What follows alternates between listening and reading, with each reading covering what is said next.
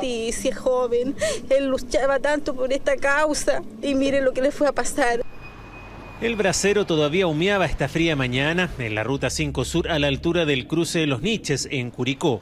Junto al fuego, toda la noche, un grupo de camioneros movilizados detuvo el paso de los vehículos de carga para chequear si transportaban alimentos o medicinas. De no ser así, impedían su paso. En estas tareas se encontraba Wilson Santelices Rivera, de 55 años, quien por circunstancias que aún se investigan, falleció tras ser atropellado por este camión. Primero se detuvo y cuando el dirigente le pidió la, guía para ver lo que tenía, dijo que no le importaba esto y le echó el camión encima. Él avanzó y no, no le importó nada. Y ahí al hombre lo, lo atropelló con las ruedas del choco. Esta bandera marca el sitio del trágico hecho. Wilson Santelices es la primera víctima fatal en medio del paro camionero. Según el parte policial, el hecho ocurrió a las 7.10 de la mañana. El vehículo involucrado transportaba medicamentos para la Cenabast. Si yo hubiese ido conduciendo ese camión, eh, habría detenido mi, camión para no agredir a mi colega. Reiterar el, el dolor de los camioneros de Chile para esta familia curicana,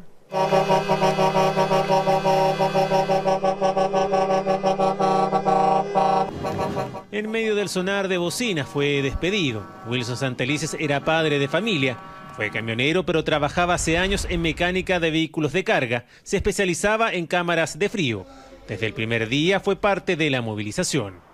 Solamente quiere la justicia, usted me imagino. Sí, sí, justicia. joven. Él luchaba tanto por esta causa y mire lo que le fue a pasar. Así que solamente darle las gracias a toda la gente. Y aquí se dan cuenta ustedes cómo era querido. Era 100% curicano, ya su talla, es muy lamentable lo que pasó. Estamos todos heridos aquí en esta zona con, con lo que está pasando. Tras el atropello, el conductor del camión fue detenido y se realizó la alcoholemia respectiva. Un informe preliminar de la CIA de Carabineros descarta la responsabilidad del chofer en la muerte de Wilson Santelices. Más allá de, los antecedentes específicos, efectivamente se están llevando adelante todas las diligencias por parte de Carabineros eh, que correspondan. El cuerpo de Wilson Santelices es velado en las dependencias de Agroservicios Pérez, empresa perteneciente al presidente de la Confederación Nacional de Transporte de Carga y que paradójicamente se ubica a escasos metros del sitio donde ocurrió el atropello.